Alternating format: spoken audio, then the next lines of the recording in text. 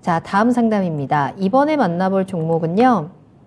연진아, 나 지금 되게 신나 님께서 남겨주신 태광입니다. 매수가가 15,700원이고 비중 19% 가지고 계시는데요. 오늘 같은 불장의 하락이라뇨 하면서 화가 많이 나셨어요. 조선 관련주들은 언제 주목받나요? 라는 질문과 함께 남겨주셨습니다. 자, 태광입니다. 오늘 1%대 하락을 했고요. 어제 오늘 좀 크게 하락을 하면서 어, 주가가 15,000원대까지 내려와 있는 상황이네요. 시청자님 매수하신 가격에서 크게 벗어나진 않았는데 오늘의 하락이 참 많이 아쉬우신 것 같아요. 이 종목에 대한 전망은 어떻게 보시는지 그리고 조선 관련주 어떻게 판단하시나요? 어, 저는 어, 전략 매도 의견 드리겠습니다. 어, 제가 늘 그렇게 말씀드리는데 이 조선주 관련된 종목은 이건 피팅주죠. 조선 관련 피팅주인데 어, 조선은 2010년도, 2000년도 초반, 90년도 후반부터 2000년 초반에 중국 대서부 대개발 할때 원자재를 실어 나르면서 엄청난 배를 배가 없으니 배가 부족하니까 배를 막 발주해서 해서 배를 많이 만드니까 관련된 그 그러면 그 조선 관련 산업의 시대는 2008년도까지 10년까지 다 끝났습니다. 끝나고 계속 안 좋아가지고 그 이후는 수주가 급격히 내려갔었죠. 실적은 10년도 많이 나왔는데 그 이후부터 실적도 계속 나오고 적자까지 나오고 막 그랬습니다. 자 그러면 이제 최근에 수주 작년에 수주가 좀 많았죠 조선이 그 소전도 많고 뭐 최근에 또뭐 삼성중공도 수수도 하고 하죠. 그러면 수주를 해서 자, 그 뭐, 과거에 2010년도까지 그 발주를 해서 다 인도받은 것들 지금 교체 수요가 좀 있는 거지. 그러면 중국의 서구, 서부 대개발하는 그 정도의 도시를 개발하는 세계에서 어디에도 없습니다. 성장을, 인도가 성장한다 그러지 얼마 안 되고요. 그럼 저 교체 수요밖에 없는 거죠. 지금 경기가 나빠지고 있는데 작년에 수조, 뭐 전쟁도 여러 가지 있어서 뭐 배럴 LNG 분도 이렇게 해서 가스 습니다 이렇게 좀 했는데요. 올해는 작년 대회 발주한 저 수주 우리가 수주하죠. 그럼 발주 그런 그 양에 거의 급격히 계속 내려가게 됩니다.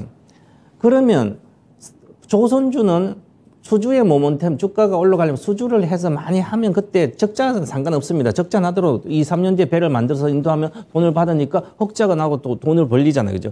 그것은 미리 다 예측이 되는 거죠. 2, 3년 뒤에 실적이. 그럼 작년까지 수주가 많은 수주가 내려면 당연 주가 내려가는 거예요. 자, 그래서 제가 작년 8월부터 계속 이 시간 말씀드렸죠.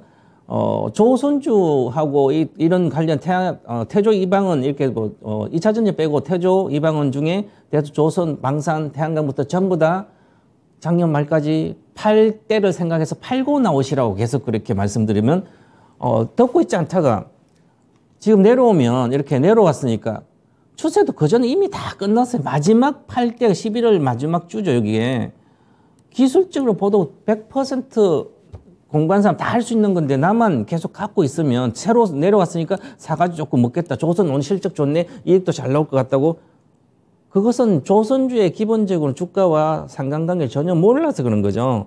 이미 수주를 하면 몇 년 뒤에 다 실적을 예측할 수 있기 때문에 다 알고 있는 내용인데 그럼 수주가 앞으로 덜 나오면 당연히 그거 살 이유가 없죠. 미래가 보장돼 있죠. 나빠질 게 보장돼 있습니다.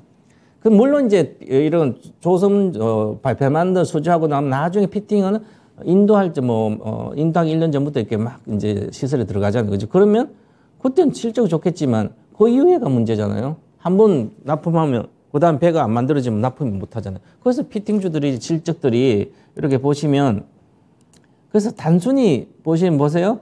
과거에는 2019년도는 영업이 29억 이렇게 나왔어요. 2천억 정도 매출이. 지금 올해도 작년에 2,400억 매출, 내년에는 이제 3천억, 올해는 3천억 정도 매출이 나오면 매출은 50% 늘어요, 이렇게. 이익도 금 늘겠죠, 500억을 늘어요.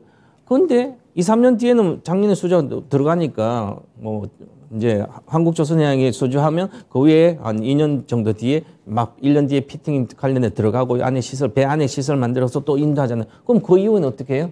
배가 이제 올해부터 계속 발, 수주가 적게 들어오면 미래가 나빠질 게 보장돼 있잖아요. 1, 2년 좋더라도. 그러니까 내가 1, 2년을 보고 주식은 사람들 알기 때문에 생각보다 이미 수주할 때 주식 올라가는 겁니다. 그래서 과거 2010년도 실적 엄청나게 좋았고 줘서 거기도 끝없이 빠져가지고 한 번도 그 가격 간적 없는 거죠. 보세요.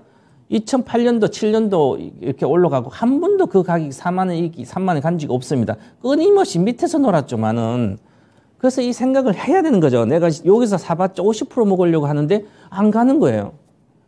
남들은 2, 3년 뒤를 보고 주식하는 사람 숱하게 많은데요. 그래서 이것은 모멘텀이 사라져 있기 때문에 앞으로 계속 사라집니다. 그래서 지금은 단 1초라도 보유하지 않는 게 저는 정답이라 생각하고 본전 내역이기 때문에 바로 팔고 나오셔서 관심을 버리시라 이렇게 말씀드리겠습니다. 네. 어, 태광이었습니다. 매도 의견 드렸고, 조선주의 앞으로 성장성, 업황, 그리고 주가 흐름에 대한 부분도 어, 체크를 해드렸거든요. 같이 참고를 해보셔도 좋을 것 같아요.